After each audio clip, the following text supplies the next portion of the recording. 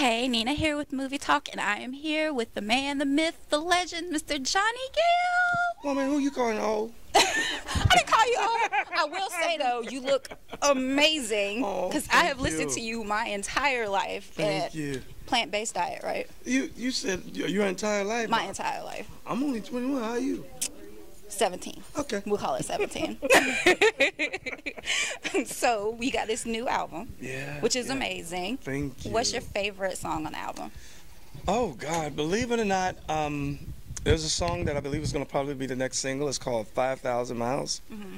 Uh, it's my my 2016 my my my uh, sounds nothing like my my my, but it was the ballad. It's just the ultimate. When I listened to uh, you listen to the lyrics of my my, it was like to me one of the the, the ultimate uh, compliments that you could pay to a woman.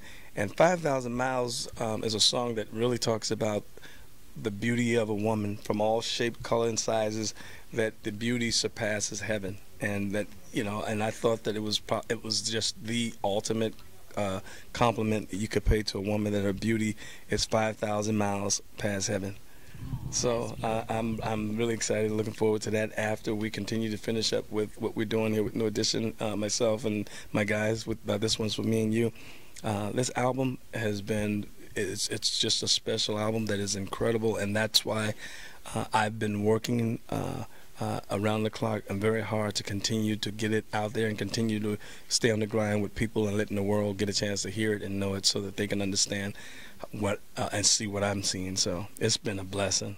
We absolutely appreciate you being here. I know you're going to light up the stage tonight, and I can't wait to see it. Oh, we're gonna have a little fun. I always ask, I say, when I interview people for women's empowerment, I ask what their message might be for the women here today. Uh, do you have something to say to the women out here?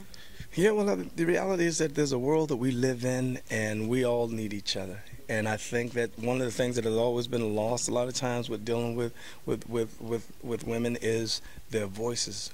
Nah, because we've come from a world that has been based on the man being the head of the household, the man being the, the dominant one, and what we've often learned is that over the time over time is that you know regardless of where our positions are and where we stand, that for women to understand that you have a voice and you have uh, a sense of value and it should be um, uh, um, represented and acknowledged uh, is so important. And and when you can gather uh, um, so many women here and with, with this great beautiful event to come together and to continue to to, to, to make sure that message is sent loud and clear, mm-hmm. that you know you have a sense of purpose. Everybody, we all do. Mm-hmm. So.